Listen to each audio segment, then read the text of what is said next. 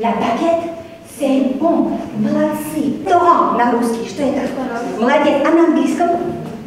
Вместе с учителем французского и английского Анисой Будан в класс вошла легкость, улыбки и изящество. Педагог из Тульской области с первых минут расположила к себе волгоградских школьников, и они ловили каждое ее слово. Сразу на английский кто сможет перевести? Что вам помогло? Какие языки вам помогли для перевода с французского? Английский и русский. Молодцы. Конкурсный урок идет 35 минут. Затем еще 10 педагоги отвечают на вопросы экспертов. В каждую группу жюри входит по 9 человек, среди которых обязательно есть учитель-предметник, а также профессионал в области педагогической психологии.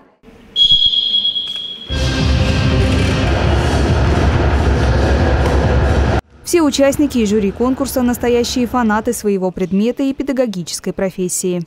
У нас в семье педагогическая династия, я учитель уже в четвертом поколении, хотя мое первое образование не педагогическое, но оканчивая университет, э, академию, в которой я учился, я понимал, что хочу этим заниматься, мне это всегда нравилось, и сразу после вуза я начал преподавать в университете, и уже более восьми лет, уже почти девять лет занимаюсь преподаванием.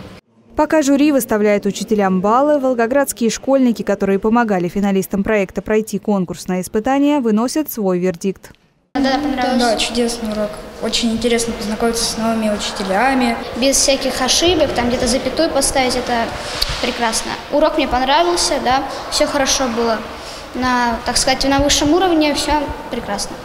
Сами участники и жюри всероссийского конкурса благодарят волгоградцев как принимающую сторону за гостеприимство. Волгограде этот конкурс проходит на самом высоком уровне. Меня радует и даже восхищает организация этого мероприятия. Я уже успел э, почувствовать и на себе волгоградское гостеприимство, и мне очень понравились первые уроки, которые здесь увидел.